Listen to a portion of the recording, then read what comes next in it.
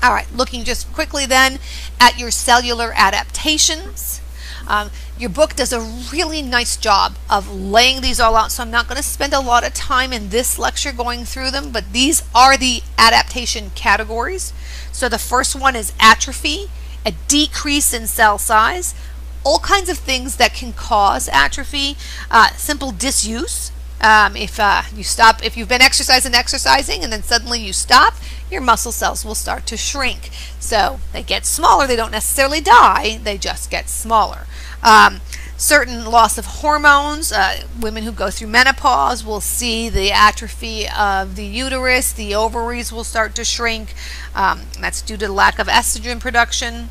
Um, lack of nutrients or lack of blood flow can cause atrophy to occur, and just aging in general.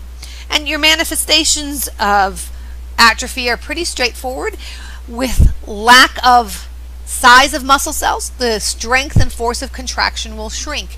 As cells shrink, their functions diminish. And so again, it may not be total loss. Even in um, you know, during menopause, you may still have some low levels of hormone production from the ovarian cells, even though they've shrunk dramatically. But you're certainly not going to see a woman postmenopausal who's going to um, see the normal functions of the uh, thickening of the uterine wall and the menstruation process. That all will go away. So a lot of the function diminishes or drops off dramatically.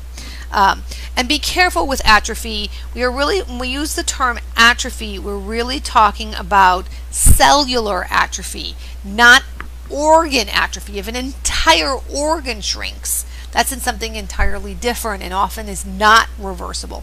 Arguably, things like menopause are not terribly reversible either, although with an increase in hormones at certain points in time, you can bring those those cells back up to functioning. We've certainly seen that happen if you watch the media and the 60 and 70 year old woman having babies.